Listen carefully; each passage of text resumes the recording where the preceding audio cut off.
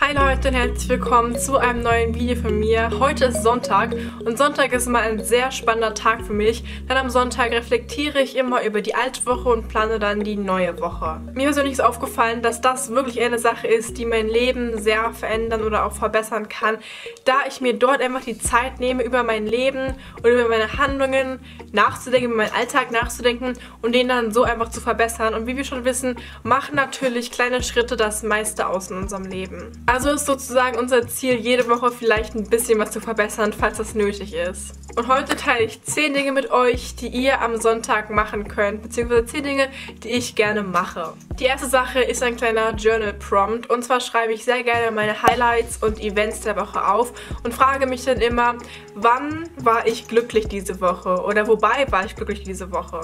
Okay, ich war glücklich, als ich meine beste Freundin getroffen habe und dann schreibe ich das auf. Oder ich war glücklich, als ich zum Frühstück ein leckeres Müsli gegessen habe. Und einfach so kleine Dinge, die toll waren oder auch größere Dinge, die toll waren. Und das sind halt nicht nur besondere Events, sondern auch einfach Highlights der Woche.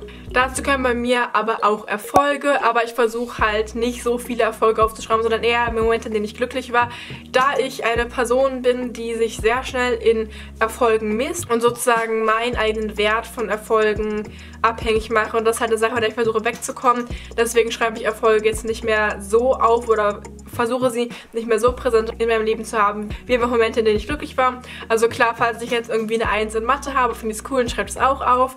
Ähm, aber ich versuche einfach doch eher andere Momente aufzuschreiben. Die zweite Idee, die du am Sonntag machen kannst, ist Tagebuch zu schreiben und dann nochmal über bestimmte Events zu schreiben. Beispielsweise war ich diese Woche das erste Mal nach zwei oder sogar drei Jahren wieder auf einem Konzert, was ähm, ein krasses Erlebnis für mich war. Und ich habe darüber auch so ein bisschen Tagebuch geschrieben, habe dort das Erlebnis nochmal richtig aufgeschrieben und geschildert und Momente aufgeschrieben, denen ich glücklich war, was ich da gemacht habe. Und ich finde es einfach super schön, nochmal am Sonntag darüber nachzudenken und vielleicht nochmal Gedanken aufzuschreiben, Gefühle aufzuschreiben, weil ich persönlich es liebe, dann darauf zurückzugucken und dann vielleicht nochmal in einem Monat, in einem Jahr, vielleicht in fünf Jahren nochmal zurückzugucken und dann zu sehen, was ich so gedacht habe, was ich gemacht habe, weil dann wieder so Dinge hochkommen, die ich schon vergessen habe. Ich finde das immer so schön. Die dritte Sache, die du am Sonntag machen kannst oder solltest, sind deine Outfits für die nächsten Wochen für die nächsten Wochen, für die nächste Woche rauszulegen, rauszusuchen. Ich kenne das selbst nur zu gut, dass ich morgens vor dem Spiegel stehe und mir so denke,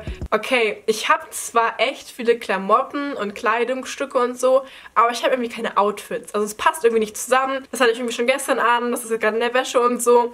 Und das ist einfach nur ein großes Chaos am Morgen. Und ein Schritt, den ich gegangen bin, um das zu vermeiden, ist auf jeden Fall generell weniger Kleidung zu haben. Das ist logisch. Und auch nur Kleidung zu kaufen, die irgendwie zusammenpasst und sozusagen diese Capsule Wardrobe ähm, zu designen zu haben.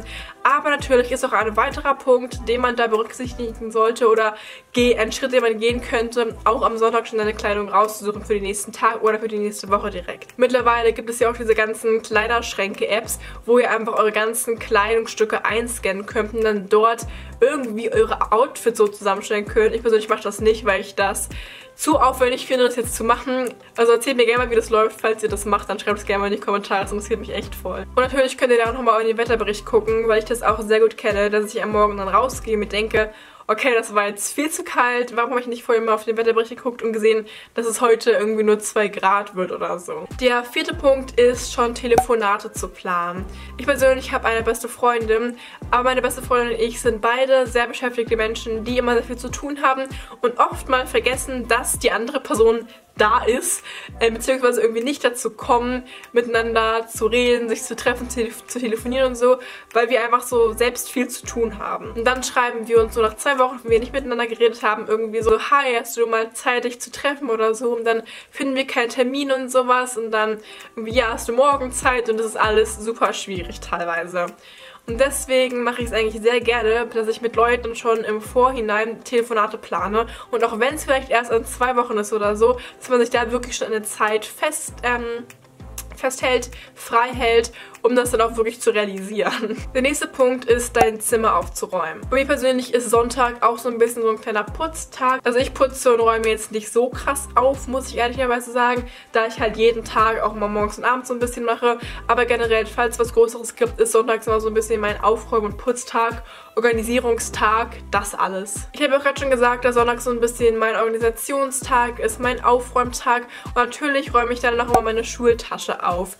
Und wirklich, Leute, ich habe das einfach die Jahre zuvor nie gemacht, dass ich mal meine Schultasche durchgeguckt habe, aber ich mache das seit diesem Jahr und es ist wirklich hilfreich, mal am Sonntag durchzugucken, einmal in der Woche und vielleicht so alte Blätter auszusortieren oder irgendwie Trinkflaschen, vielleicht Stifte, die nicht mehr funktionieren, einfach das mal am Sonntag durchzugucken und auszusortieren. Und oftmals findet man man auch noch Sachen, die man vielleicht noch erledigen muss bis zur nächsten Woche, was man dann schon verdrängt hat am Wochenende. Und das ist auch schon der nächste Punkt, und zwar mal deine alten Schulsachen am Sonntag durchzugehen. Ja, ich weiß, die Motivation, wirklich sich nochmal hinzusetzen und die Schulsachen anzugucken, ist jetzt nicht so groß, aber es ist teilweise notwendig und teilweise auch sehr hilfreich. Also wenn du einfach mal im Kopf so einfach in zwei Minuten durchgehst, welche Fächer hatte ich diese Woche, was machen wir da gerade, gibt es Hausaufgaben, schreiben wir Tests, schreiben wir Klausuren, was kann ich jetzt noch dafür machen, was muss ich vielleicht sogar noch dafür machen, muss ich irgendwas ausdrucken, irgendwas mitbringen, ähm, Hausaufgaben erledigen, sowas halt. Es sind wirklich nur fünf Minuten von deiner ganzen Woche,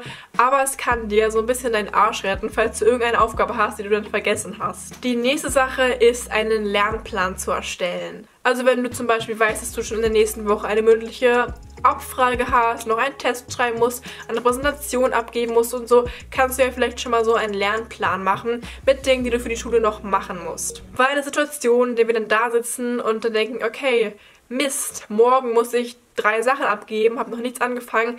Diese Situation mögen wir nicht. Und diese Situation wollen wir möglichst vermeiden. Und das funktioniert, indem wir schon am Sonntag darüber Gedanken machen und dort schon mal anfangen zu planen, wann wir was machen können. Der nächste Punkt ist auch noch deine Galerie auf deinem Handy auszumisten. Ich habe das vor einigen Jahren noch sehr aktiv gemacht. Da habe ich wirklich jeden Tag gefühlt zwei Minuten dafür genommen, alle Bilder mal durchzugucken, die ich an diesem Tag gemacht habe, was jetzt nicht so viele waren. Deswegen hat es voll gut funktioniert. Mittlerweile mache ich das nicht mehr so aktiv, sondern sitze dann wirklich wirklich mal so alle zwei Wochen ähm, da und versuche meine ganzen Bilder zu sortieren. Und wenn man halt mal so ein Fotoshooting gemacht hat oder so oder auf einem Event war und dann alle Bilder da sind, dann ist es manchmal sehr überfordernd. Und der zehnte und letzte Punkt ist jetzt, dir in den Kalender einzutragen, wann meine Study With Me Livestreams sind. Diese werde ich immer am Sonntagabend in meine Community-Tab posten. Ich will, dass du, indem du auf meinen Kanal gehst, Lara Emily, dann ist da ja so ein Tab mit Videos, Playlists und Community. Und bei Community findest du einen Plan mit der Uhrzeit, mit dem Tag, wann wir diese Livestreams machen. In diesen Livestreams lernen oder arbeiten wir zusammen. Das heißt, ich zeige euch, wie ich lerne, wie ich arbeite, filme mich dabei und wir können das Ganze zusammen machen, sodass wir motiviert bleiben. Und in den Pausen beantworte ich auch immer gerne Fragen von euch und antworte ähm, auf eure Anfragen. Wir quatschen ein bisschen und das ist eigentlich immer richtig schön. Normalerweise gehen die Streams so ein bis drei Stunden, meistens unter der Woche so zwei Stunden. Also wahrscheinlich wieder so 16 bis 18 Uhr, 18 18 bis 20 Uhr. Und ich freue mich und hoffe, dass wir uns dann nächste Woche da sehen bei den Streams. Ähm, ich wünsche euch noch einen wunderschönen Tag und bis bald. Tschüss!